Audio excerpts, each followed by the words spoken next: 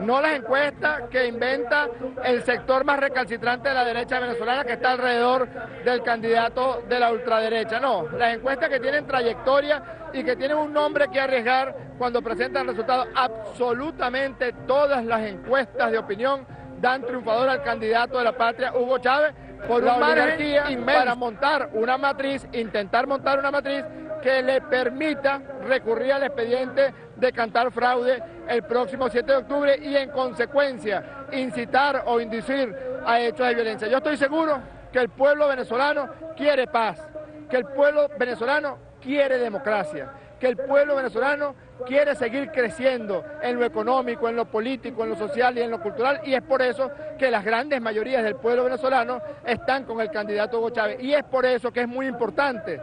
Amiga, amigo, es muy importante que usted vaya a votar el 7 de octubre, porque cada voto suyo para Chávez es un voto que vacuna contra la violencia de esas pequeñas minorías. Cada voto suyo por Chávez, cada voto por el candidato más grande sea la brecha y la distancia entre el candidato de la patria y el candidato de la ultraderecha, pues los disuadirá aún más para evitar cualquier reacción violenta. Nosotros esperamos que prive la, sensatez en el evento electoral del próximo 7 de octubre, pero estamos preparados para cualquier contingencia. Al pueblo de Venezuela le decimos salir a votar muy temprano el 7 de octubre, al toque de Diana a las 3 de la mañana, que todos los centros de votación estén completamente colmados el 7 de octubre desde muy temprano en la mañana.